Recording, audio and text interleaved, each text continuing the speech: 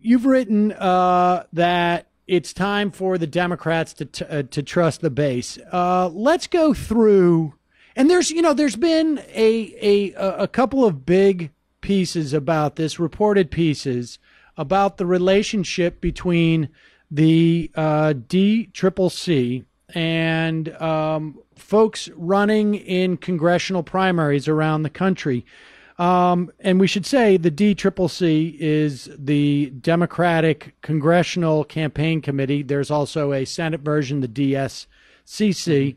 Um, and they're distinct from the DNC, although we're talking about really a lot of the same people, a lot of the same mindset. But but but broadly speaking, what is that mindset? Yeah, so the big sense that they want to look for is they want to look for someone who, in finger quotes, is electable. Someone who fits a sort of mold. Uh, quite often, uh, the perfect candidate, if you could sort of invent that one for them, would be a white male small business owner who has center left policy views and a deep network of people who can fund their campaign. Um, and that is who they tend to support. And even whether there's been a lot of pressure um, to say add more women of color to the red to blue list, even if after those women have won primaries, um, they've actually been incredibly slow to do that.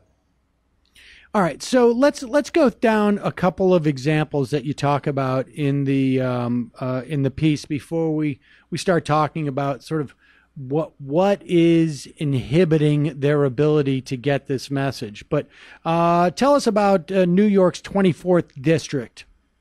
Yeah, so this is one of the most uh, offensive, I think, to progressives interview interventions this cycle. Um, so there was a, a, woman named Dana Balter, who was a uh, professor um, who had won the endorsement of groups like Working Families Party and also the local Indivisibles, as well as the local Democratic parties. Um, and she had sort of consolidated support. People were really excited for that candidacy. And then the DCCC swooped in at the last moment and endorsed ahead of the primary uh, a woman named Juanita Perez Williams, who had previously lost a, a bid to be uh, mayor of Syracuse, and who it turned out, it surfaced, had posted in favor of Ireland's abortion ban uh, on her Facebook. And they not only swooped in and sort of gave her that imprimatur of support, they then ran ads, coordinated ad buys with their campaign. So they were actually financially helping her campaign ahead of the primary. Um, and then uh, she lost the primary, and they have refused to add red to blue, uh, or Dana Balter to red to blue. So the DCCC's position was this was a winnable district when our candidate, when we had our preferred candidate. Now that we've lost that primary, it is no longer a winnable district, despite the fact that Dana Balter has showed, you know, she is the overwhelming preference of Democrat Democratic voters in that district, and she has done basically fine in terms of fundraising. There's no evidence that uh, Perez Williams was a better fundraiser than Balter. So even by their own, you know, purported standards, uh, they are they are basically trying to shove it to progressives, and it's even worse in Nebraska second. Well, I want to talk about Nebraska second in a in, a moment, but uh, but mm-hmm. but you're a data guy. Is there any? Do they have any data points that would suggest that they're correct? I mean, is there? There's no polling at this stage, is there? I mean, ironically enough, Juanita Perez Williams released a poll claiming that she was 15 points up, um, and then lost, you know, with one third of the vote. Um, so, it, you know, that was incredibly uh, deceptive. And, and, the and the point being, it, so I guess I should say yeah. there's no accurate polling. All right, is yeah. That, is that Sam, okay. if, if you look at most of the polls that sort of come out, they'll have like these head to heads. And a thing that you need to keep in mind mentally is unless you're seeing a four to five point gap between the two of the, the candidates, like two of the Democrats that are being put head to head, those differences are not statistically indistinguishable with the sample sizes that these polls tend to be conducted with. So okay. there really is too much reading into um, too small uh, of an inf- information. So you'll sometimes see it where it's like oh, you know, Stacey Abrams is up 43 to 33, but then Stacey Evans is up 42 to 33. You know, that's statistically indistinguishable. Those are the same number. So it doesn't really make sense um, for the party to intervene. I, that's a totally hypothetical example, but we can give a, we can do that for any race. And, the other point is that money, um, once you've reached a sort of viability threshold, of you know having you know three hundred thousand dollars or so, four hundred thousand dollars to sort of do the block and tackling of running a campaign.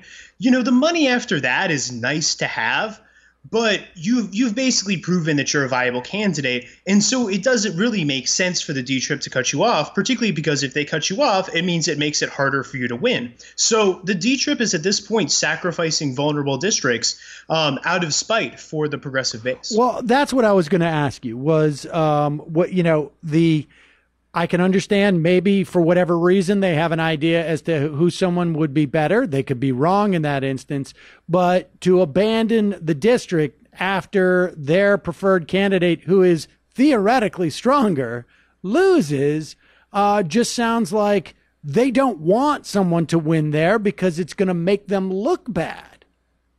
Yeah, and and it, it's, it's an indication that they don't really trust the Democratic voters. Um, right. Yeah, well, tell tell us about Nebraska.